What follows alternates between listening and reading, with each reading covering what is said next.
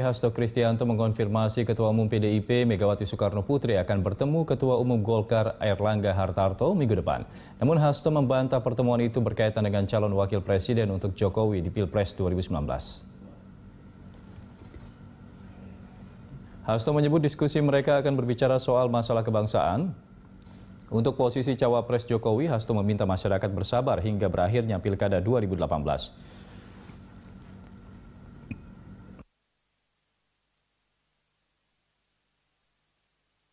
Hal ini dilakukan karena penentuan posisi cawapres perlu pertimbangan matang agar mampu memaksimalkan kinerja Jokowi.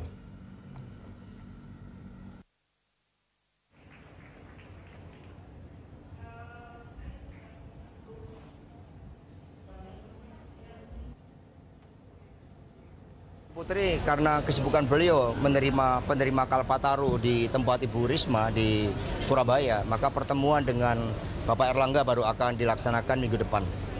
Jadi untuk cawapres sampai sekarang, cawapres sampai sekarang belum diputuskan.